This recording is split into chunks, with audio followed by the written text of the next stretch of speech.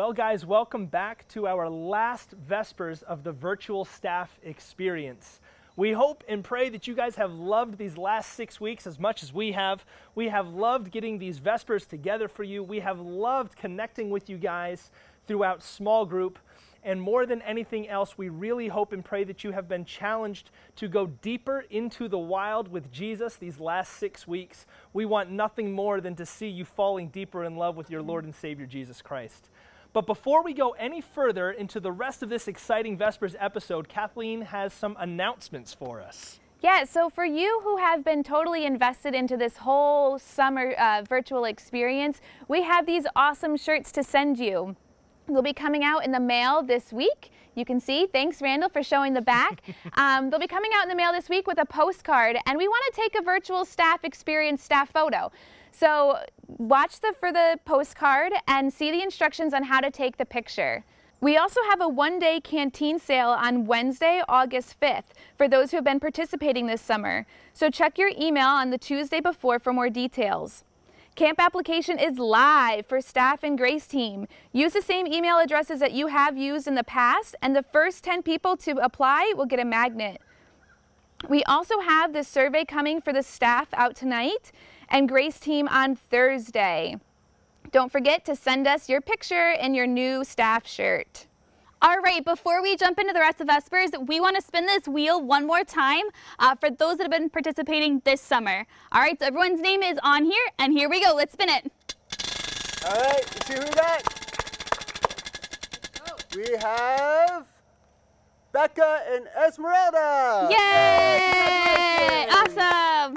So contact us this week and we'll get you guys hooked up with some new camp gear. So before we jump into the rest of Vespers, we just want to take a moment to recognize a certain group of our staff. So Grace Team is our junior staff leadership program here at Camp Neosa, and it's typically a two-year program.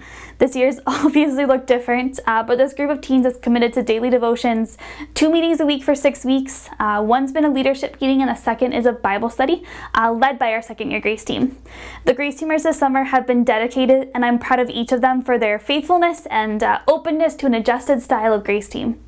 Specifically right now, we want to acknowledge our second year Grace team. Um, I'm so proud of you for trying something new, for being open uh, with each other, and the servant hearts that you all display. Uh, you're all becoming leaders in your division and at your corps. Our second years this summer have been Tralisha Agnuel, Yancier Figueroa, Alicia Galloway, Rebecca Hovey, Cheyenne Oxley, and Reagan Sermaseviz. We have one more week of Grace Team meetings and then you will all be graduate Grace Team. Congratulations! Will you join me in praying for these six young leaders? God, we thank you so much uh, just for each of the six young leaders that you've brought to be a part of our Grace team this summer. And we thank you just for, uh, for their leadership, for the way that they're going in their faith, and uh, just for the way that they are displaying who you are in their lives. We just pray that you continue to guide them um, as they are making tough decisions, as they are speaking to others about their faith, and as they are just continuing to grow as leaders, Lord. We pray that you just guide their steps, help them to be uh, just great examples of who you are and to represent you well in their lives, Lord. We pray that you just uh, pour abundant blessings upon them. I pray this in your name. Amen.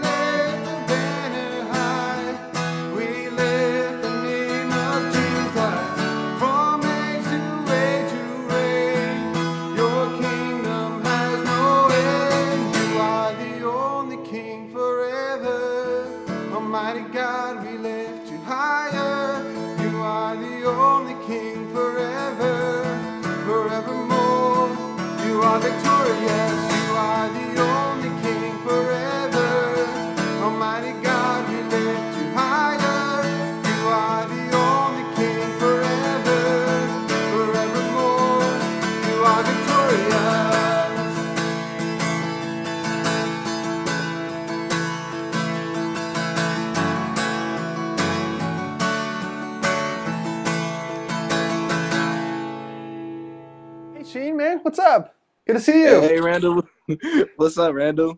How are you doing? Um, I'm doing okay. You know, doing pretty Cool. good. All right, so not everybody here knows you, and you're fun to hang out with. So, uh, why don't you tell us a little bit about yourself? Well, my name is Ross Sheen. That's my full name, but everybody calls me Sheen, and I love being called by that because it's awesome. I'm awesome. Uh, I'm from Cleveland, Ohio. I've been born and raised here for a very long time. Um, I used to work at camp. I worked camp worked at camp for two years. Yeah, two years. Both years on Grace team, and I loved it. I absolutely loved it. I love camp, and I love everybody there. So, tell us a little bit more about the impact camp has had on your life. Uh, when I first like the idea of working at camp, it honestly frightened me because I never had a, any type of job, and I never went to a camp before.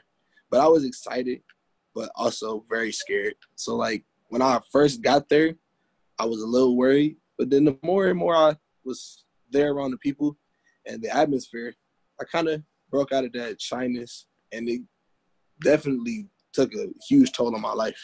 Like it Yeah. changed my personality completely. So, kind of working at camp was kind of a big leap, kind of a jump. Very bigly. So, how do you see God working in your life now after you've had, had some time at camp and you said you kind of had a big impact here? So, where do you see God working in your life now? Um, he's just uh, what's the word I'm looking for? He's just guided me through all my challenges, honestly. So like, I don't lose a lot of hope easily like I used to. I kind of just fall back and let God do His work.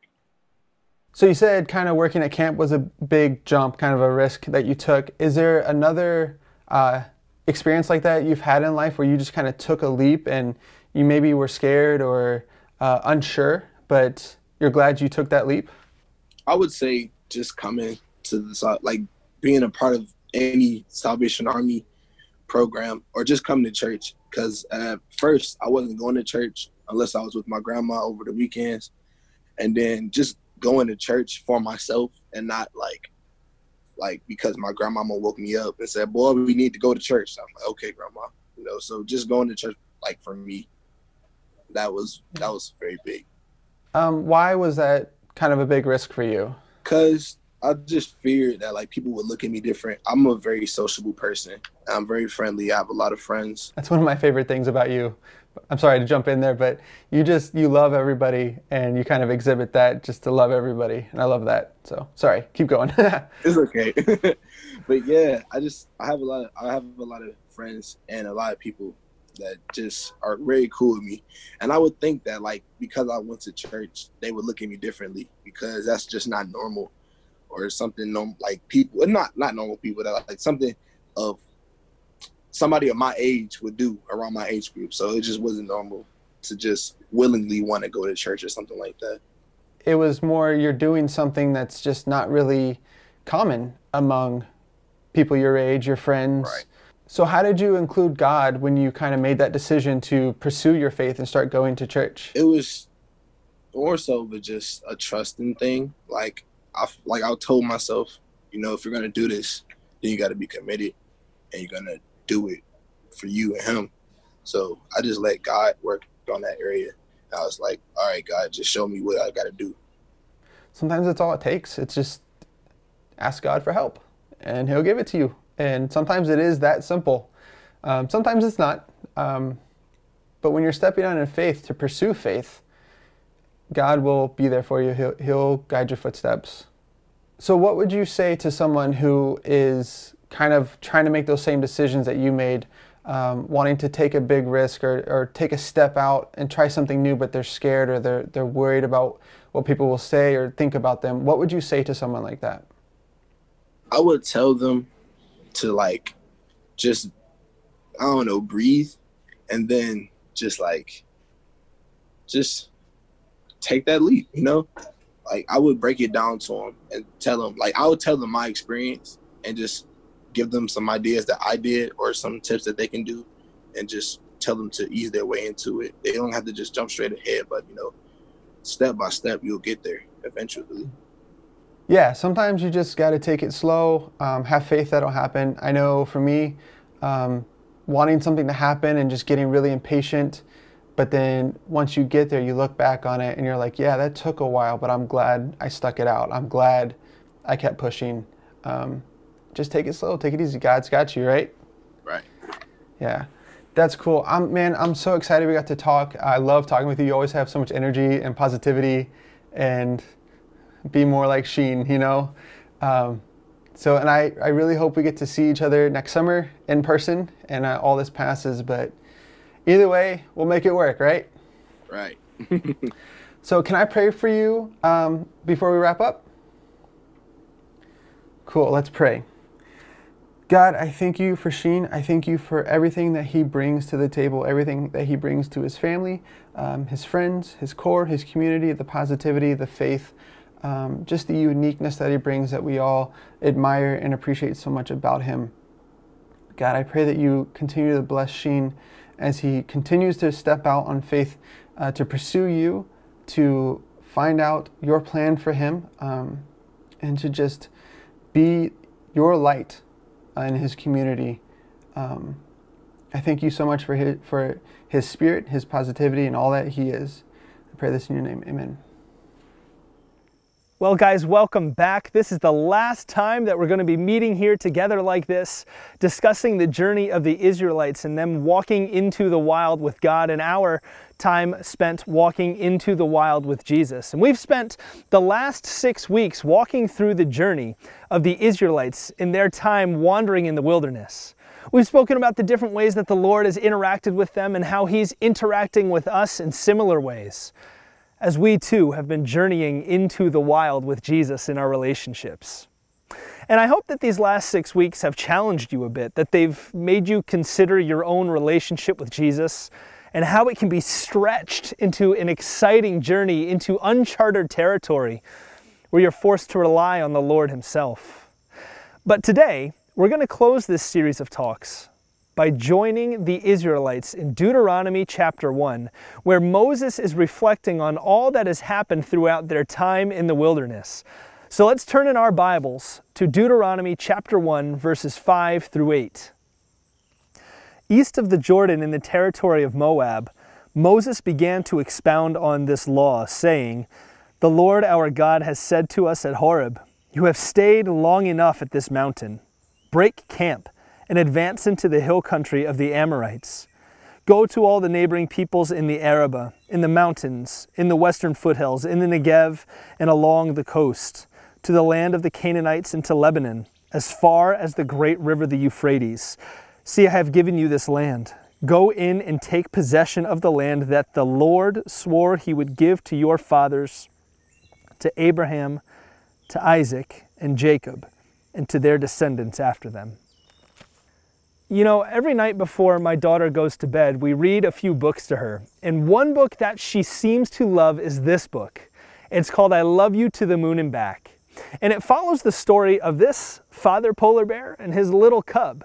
And I just want to read a few pages from the beginning of this book to you. So let's, uh, let's take a look here. I love you to the moon and back.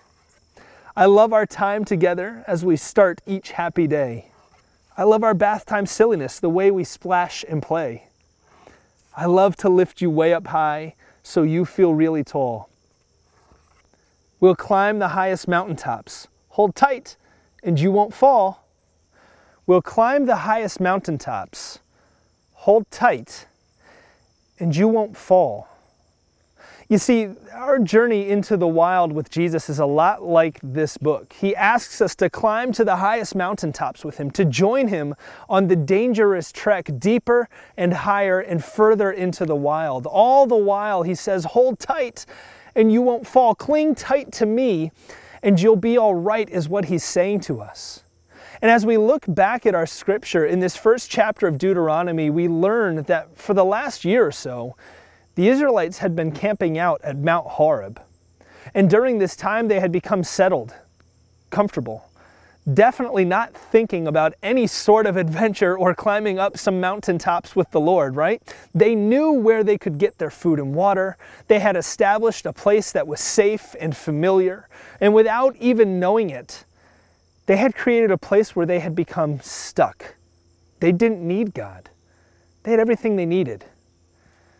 But God had a bigger, more adventurous plan for them, a plan to make them His people completely and fully and wholly His.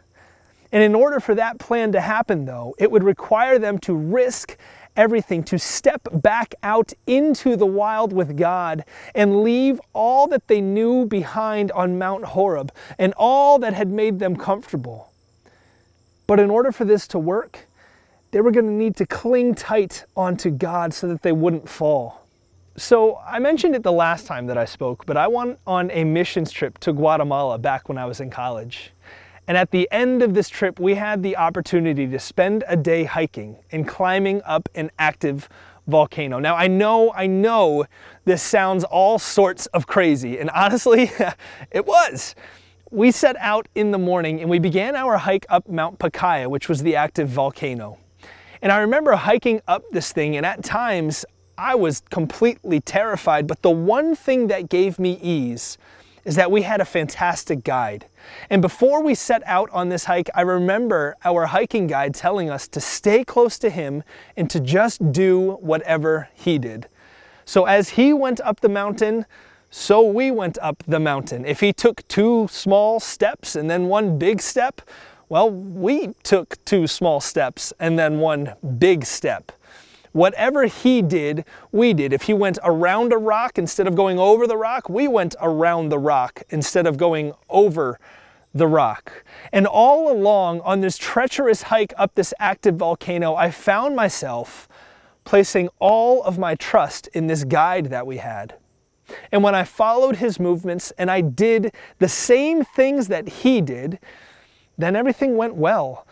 But the minute that I began to wander off course and I began to try to do my own thing, thinking that I'd just make up my own path up this volcano, I'd inevitably trip or I'd fall down. As long as I followed the guide who I completely trusted, I didn't need to worry about the terrain.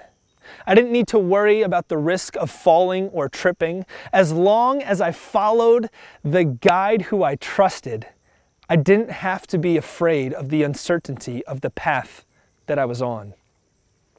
Look, what I'm trying to say is this.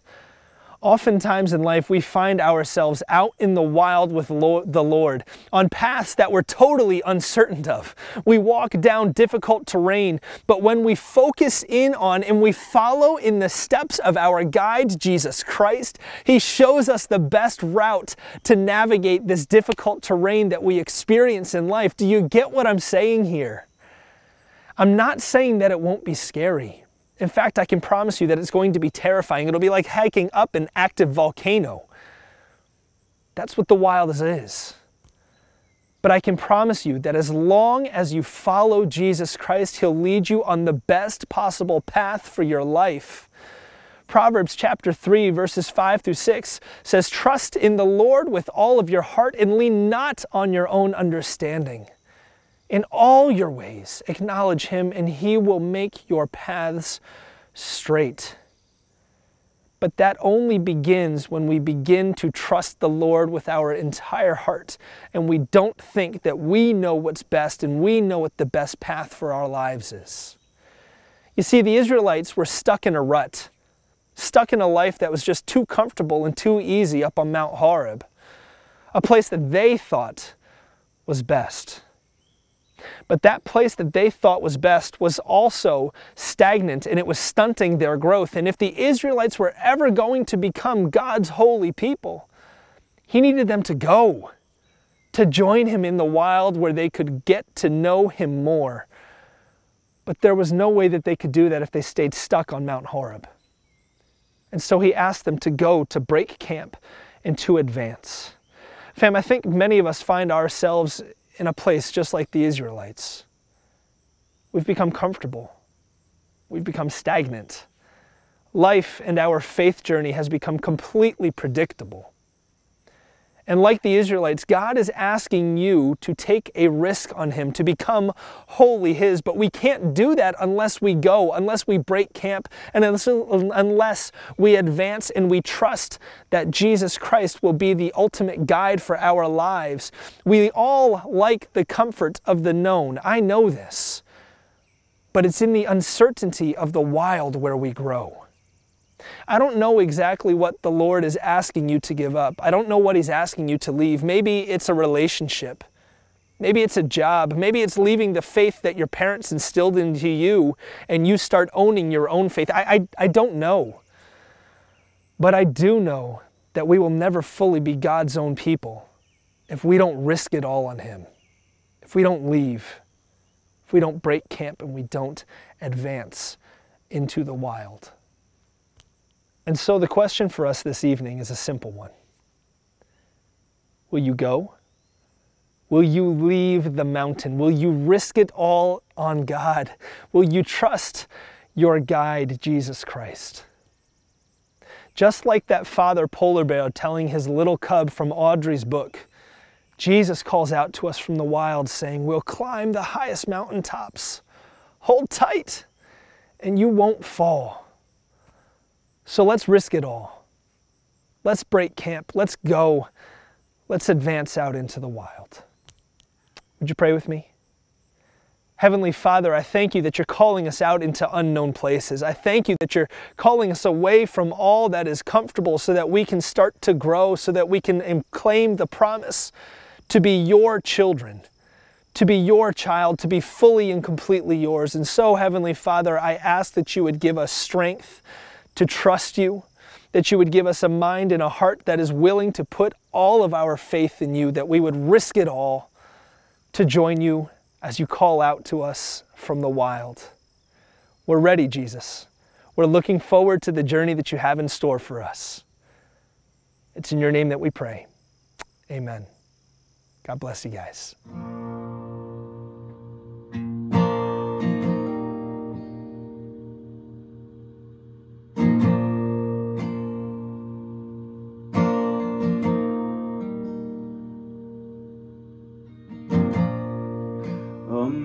Sing low that welcomes me. The kindness of mercy that bought with blood wholeheartedly my soul I'm deserving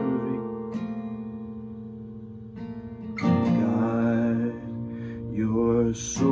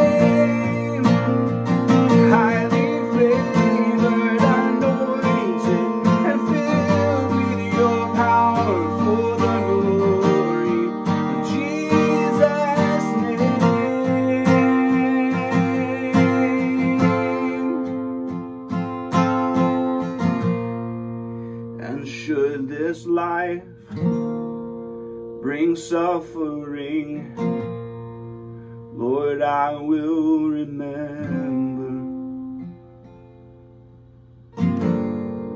what Calvary has bought for me, both now and forever.